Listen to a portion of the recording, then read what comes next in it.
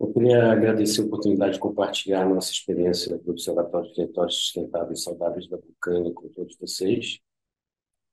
É, o nosso problema, que nós, na verdade, nós preferimos nomear como um desafio, é como promover um processo de desenvolvimento sustentável em território em disputa.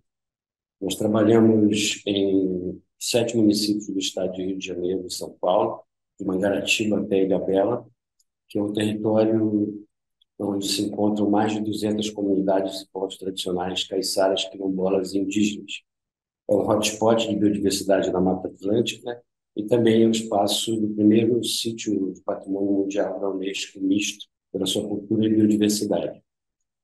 Tem um conjunto de unidades de conservação nesse território, federais, estaduais e municipais, que, por um lado, são importantes, foram importantes para a preservação é, desse território, por outro lado, também se sobrepuseram aos territórios tradicionais, criminalizando boa parte das suas práticas. Práticas essas que, em boa parte, são responsáveis pela sustentabilidade desse território. É um território também extremamente ameaçado por grandes empreendimentos. Nós temos aqui o Programa Nuclear Brasileiro, nós temos a exploração de petróleo no pré-sal, temos os terminais da Baía da Ilha Grande, temos estaleiros como a Brasfels aqui, uma série de empreendimentos de turismo de alto luxo, resorts, condomínios, associado ao turismo predatório. É, portanto, um espaço, um território onde os impactos cumulativos, especialmente da cadeia de petróleo e gás, mas de outras cadeias produtivas, se confrontam diretamente com a possibilidade de sustentabilidade, que é uma perspectiva que os povos e comunidades tradicionais adotam.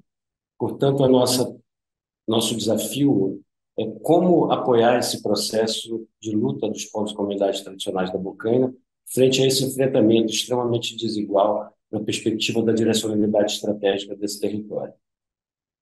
A principal questão de se trabalhar com povos e comunidades tradicionais é a separação entre uma instituição de Estado, entre as políticas públicas e a vida real desses povos e comunidades tradicionais. Isso decorre tanto do extrativismo acadêmico, que acontece tradicionalmente nesses processos, mas também da ausência de políticas públicas e do Estado visto com uma desconfiança muito grande. Então, o desafio de associar o conhecimento científico ao conhecimento tradicional para soluções territorializadas era a grande questão que estava colocada para a gente. A partir daí, nós fizemos uma parceria entre a Fundação João Cruz, que é uma instituição de Estado de Ciência, Tecnologia, Inovação e Saúde, com o Fórum de Comunidades Tradicionais, que é a associação entre indígenas, caiçaras e quilombolas deste, desse território. A nossa perspectiva é sair do território e chegar sempre ao território.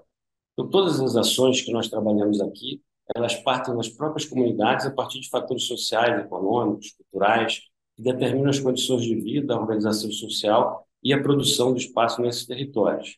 Quando essas demandas são identificadas, os pesquisadores cientistas e os pesquisadores comunitários trabalham juntos para encontrar e desenvolver soluções em um processo de ecologia de saberes.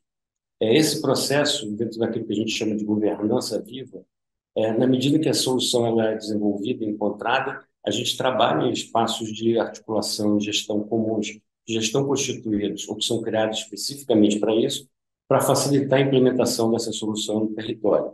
E uma vez que a solução é implementada, as nossas redes de solidariedade, articuladas com outros territórios, outros movimentos, outras universidades ampliam o alcance pelo intercâmbio dessas experiências e também promovem a sua incorporação às políticas públicas, consolidando essa abordagem que nós chamamos de promoção de territórios sustentáveis e saudáveis. É, para trabalhar com essa, esse mundo gigantesco que é a disputa da sustentabilidade no território com essas características, nós abrimos diversas frentes de trabalho para trabalhar com a perspectiva da determinação social da vida e da saúde. Então, temos inúmeros mecanismos e diversas frentes. Quero destacar aqui a nossa incubadora de tecnologias sociais, as nossas estratégias de, de territorialização da Agenda 2030, mas também diversas frentes com as quais nós trabalhamos, como a pesca, o turismo, saneamento, agroecologia e a defesa do território. Dentro da Fiocruz, nós começamos em 2009 com esse processo, com um pequeno projeto de cerca de 50 mil reais, Fomos avançando nessa parceria com o Fórum da territorialização das nossas ações. Em 2022, nos transformamos em um programa da presidência da Fiocruz E hoje nós temos a decisão da Fiocruz de trabalhar aqui um campus avançado na região da Bocaina, que seja um processo de territorialização e aprendizagem, tanto para a Fiocruz quanto para os movimentos sociais. Executamos hoje uma série de projetos aqui no território, que trabalham com aquelas diversas frentes que eu apresentei a vocês, e temos como base a ideia dos pesquisadores acadêmicos comunitários trabalhando juntos para desenvolver soluções. Na implementação desse processo extremamente desafiador, nós temos uma coordenação geral do observatório compartilhada organicamente entre a Fiocruz e o Fórum de Comunidades Tradicionais. Aqui à direita vocês veem o Vaguinho, que é quilombola, coordenador do Fórum de Comunidades Tradicionais e coordenador geral junto comigo do observatório.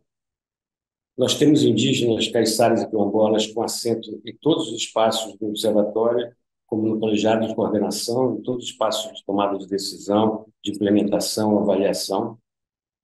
Nossa equipe hoje é de cerca de 146 pessoas, sendo 101 mulheres, 45 homens, 46 pesquisadores comunitários, de mais de 20 campos de conhecimento, pescadores, agricultores, sociólogos, advogados, artesãos, geógrafos, administradores, enfim, uma equipe extremamente diversa, e é muito difícil falar dos resultados de quase 15 anos de trabalho, que são inúmeros, tanto quantitativamente quanto qualitativamente.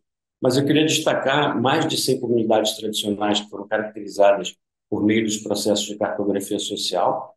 Esses processos iniciam com o mapa falado, como esse aqui da Ponta da Joatinga, elaborado pelos próprios comunitários, e é um processo que se estende por mais de quatro meses de entrevistas, grupos focais, visitas de campo, reuniões das comunidades, eles se transformam em um mapa georreferenciado que vai para a nossa plataforma Web Maps. Aqui é o mesmo mapa da Ponta do Joatim, não é tão bonito quanto o anterior, mas é o mesmo mapa. Aqui o microterritório, que é uma das bases espaciais de planejamento e governança territorial. Aqui o microterritório do Carapitanga, que tem três aldeias indígenas, dois quilômetros e uma comunidade caiçara. Aqui é o maritório dessa comunidade caiçara, com diversos usos, espécies, tipos de pesca, produção. Nós temos também uma rede de formação socioambiental é, em implementação com mais de 111 comunidades tradicionais impactadas pela exploração universal. E nós tivemos alguns reconhecimentos, né? aliás, antes disso, nós temos um banco de tecnologias sociais com mais de é, 40 tecnologias registradas, sistematizadas geolocalizadas, alinhadas com a Agenda 2030, temos alguns reconhecimentos. Temos o primeiro lugar na linha de território sustentável e saudável da Organização Pan-Americana de Saúde. Também uma das dez soluções mais inovadoras em 2021 do Grupo de Trabalho da Sociedade Civil para a Agenda 2030. Investimento transformador para o desenvolvimento sustentável, segundo a CEPAL, em 2020. Menção honrosa do Prêmio ODS Brasil em 2018 e uma experiência de saneamento ecológico incorporada pelo Plano Nacional de Saneamento Rural em 2018 também todas elas com uma série de informações sobre os nossos resultados. Tivemos a oportunidade de agora fazer uma semana de incidência política, um mês e meio atrás, em Brasília, passando por vários órgãos governamentais federais e culminando com a, apresentação da nossa experiência para o presidente Lula. E saímos de lá com a decisão de incorporar um grupo de trabalho interministerial, o nosso grupo de diálogos com a sociedade civil, de integração de políticas públicas aqui no território, que irá dar aprofundamento é, e mais integralidade do governo federal ao processo de governança territorial que a gente desenvolve. A nossa inovação foi conseguir trabalhar juntos o movimento social e uma instituição pública e de Estado para a construção de soluções de governança territorializadas que efetivamente têm impacto na vida dessas populações. A nossa perspectiva aqui, nós acreditamos é que um outro mundo é possível um mundo mais solidário, mais justo, mais cooperativo, mais sustentável. E a gente acha que habitar esses futuros hoje é uma condição de possibilidade para o futuro da humanidade, e é isso que nos motiva aqui na Bocaina a prosseguir com o nosso trabalho e a buscar mais inovação, mais solução, mais potência e mais qualidade de vida e protagonismo dos povos e comunidades tradicionais. Muito obrigado.